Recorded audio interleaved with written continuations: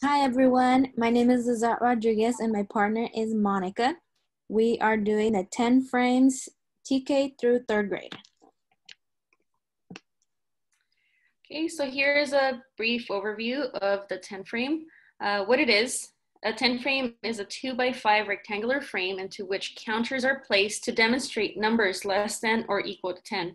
Uh, counters can be arranged in different ways to represent different numbers, which is visually um, which is used to visually help children develop a stronger number sense. It's used to teach number sense, counting, adding, subtracting, composing, decomposing, decomposing numbers, um, how it helps students access math content. Uh, the 10 frame provides a visual for students and gives them a chance to work with the number and not just memorize it. And then here is just a sample of what the 10 frame looks like. Um, so maybe you can have students build numbers up to 10 or 20, um, depending on how many 10 frames you give them. These are the CSA um, phases. So the first phase is the concrete phase. In the concrete phase, um, how you would use 10 frames, uh, you would during this stage, students use hands-on manipulatives like the 10 frame to express their thinking. So just like how we see these uh, two little girls in the classroom um, using the hands-on manipulatives, these are the 10 frames that they are using and um, they are using the counters, which are the little circles. Um, sometimes they are one color, sometimes they are double-sided with different colors. Um, in this stage, 10 frames can be used to represent numbers, model addition and subtraction, or to compose and decompose numbers. Manipulatives that can be used in the concrete phase. Um, here we have provided a digital 10 frame tool um, by clicking this link. We uh, also put on here counters. These are the double-sided kind of like counters or like chips that um, they can use to fill in the frame. Here's a 10 frame mat.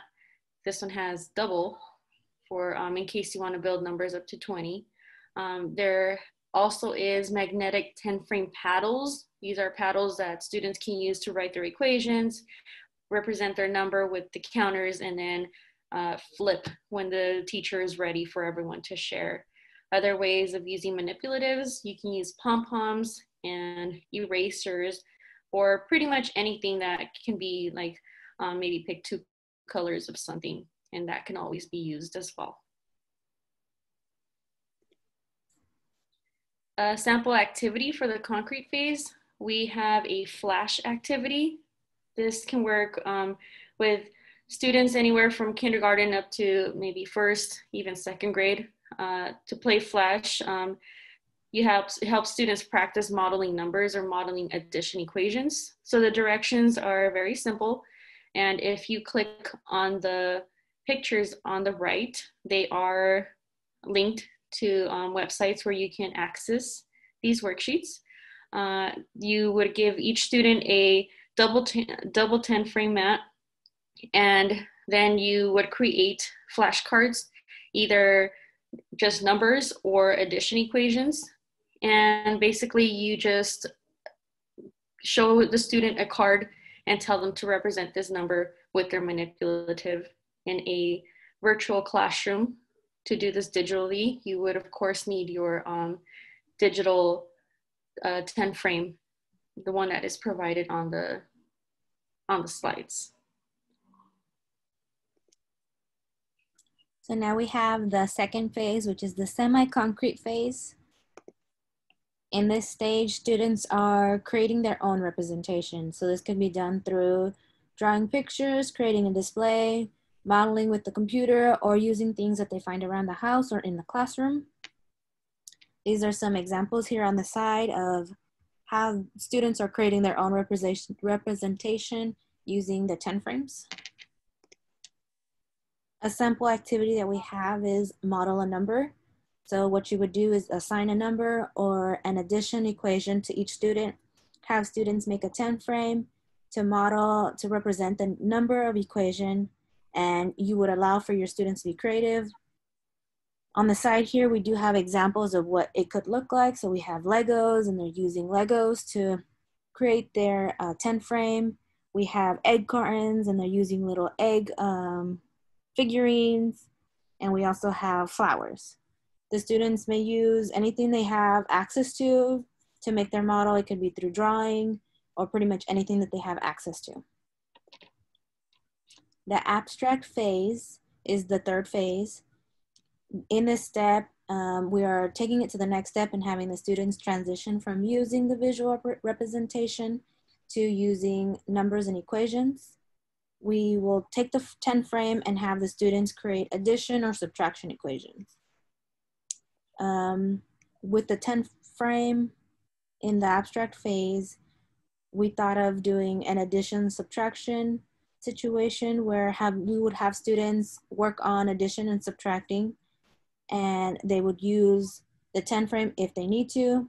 For younger students in TK or kindergarten, they may still need to use the visual to help with calculating. The sample activity would be um, an adding and subtracting 10 frame worksheet and a um, virtual dice or a die if you're in the classroom with a pencil or different colored crayons or markers. The activity would be for them to have this worksheet that they have on the side. Um, over here on this side where it says worksheet, it is linked to the website where I found this worksheet so that you could have access to the uh, variety of worksheets that were on that link. It could be from addition or subtraction. There's even one where it is combining both addition and subtraction. And for the activity, the students will roll the dice and fill in the blank spaces and either add or subtract the two numbers. And they will use the blank 10 frame on the side to show their work. Here are extra resources. On the side, we have a video of a song to introduce 10 frames to students. And then on the other side, we also have other links for other ideas use 10 frames. There are 10 frame games, 10 frames at home activities if they are at home and the parents want to be involved in what they're doing. There is a link right there for that. And then there's also other 10 frame manipulatives that I have found that are right here. Okay, so this is our class activity. Um, Today we're going to practice the concrete phase using this digital tool. Um, it is a 10 frame digital tool. So if you click on the link on the slide, it should take you to the digital tool. It looks like this. Okay. And then we will begin the activity.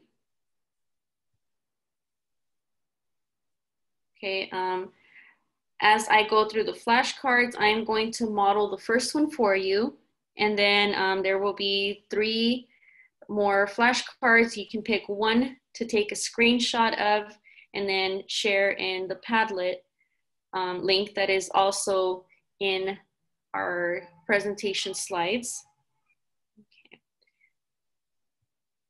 okay, so the first card says um, to model the number 11 Okay, so you would model the number 11. I will show you how to model this. And then, like I said, um, there will be three more opportunities of um, three more flashcards that you can choose from to model, take a screenshot, and then share your response in the Padlet. Okay. So number 11, this is how you would model it. Um, up on the top left corner, you have your choose a, choose a frame, okay? For this activity, we're going to use the 10 frame. So if you click on the 10 frame, you get a 10, a 10 frame. Um, I'll have you choose two, just in case it's a bigger number, okay? Um, so for this one, you're going to model the number 11. So what you would do is you can either choose one chip at a time, five at a time, or 10 at a time. Um, you can use 10, if you know that it's 10 and then one more. Okay, so here I have modeled the number 11. Okay, and then once you are ready to try a different one, you can click the refresh tool and clear all. Okay, so again, the 10 frame is here. You can use one counter at a time You can use five at once or 10 at once. Uh, your choice on how you want to do that. Okay. Right, so we modeled number 11. The next flashcard is the number 15. So model the number 15. Then here's an example of a addition equation. So you would model adding 8 plus 5. So model 8 plus 5 on your 10 frame. And we also have 7 plus 3. So you would model 7 plus 3. Okay, so please choose one of these flashcards to model. Um, either 15, 8 plus 5, or 7 plus 3. Please take a screenshot and share your response on our Padlet. So if you click on slide 18, you have the Padlet link that will take you to our Padlet. And please make sure you click on the plus sign, add your name, and share your response. Okay, so that was uh, the end of our presentation. Thank you. Thank you, everyone. The links you will need to complete this activity, including this presentation, will be found in the blog section on Blackboard. Thank you.